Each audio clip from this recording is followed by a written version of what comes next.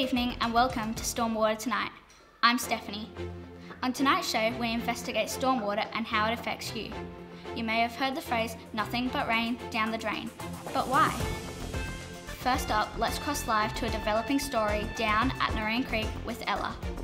Thanks, Steph. We're here at the creek speaking with some of the eyewitnesses to stormwater pollution. Hello, dog poop. What is it like being left on the grass waiting to be washed into the drain? I am disgusted. Who would want to swim and find me floating around in the water? It's not that hard. If your dog does its business, just pick me up, bag me and put me in the bin so my bacteria doesn't end up in the waterways. I agree. It's disgusting. Now rubbish. Do you think you can do any damage? Are you kidding? I can wreck habitats and kill multiple animals.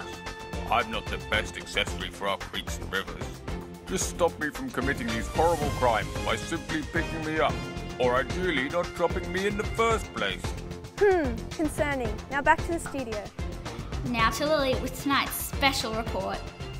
Tons of litter enters our waterways each year, and lots of it is plastic, wrappers, and straws. Plastic never totally decomposes. It just keeps breaking down into smaller and smaller bits. And those tiny bits can end up in our waterways, affecting animal and plant life. Hmm, food for thought. Now for the weather with Mia. Thank you, Stephanie. A storm of waterway hazard is coming to our local creeks and rivers. In the near future, expect more stormwater pollution affecting the health of our waterways. Unless we all do something about it, these problems will get worse. So remember, Australia, nothing but rain down the drain. To help you remember this, here's Trashy the Trash Can and the Litter Minion. Good night.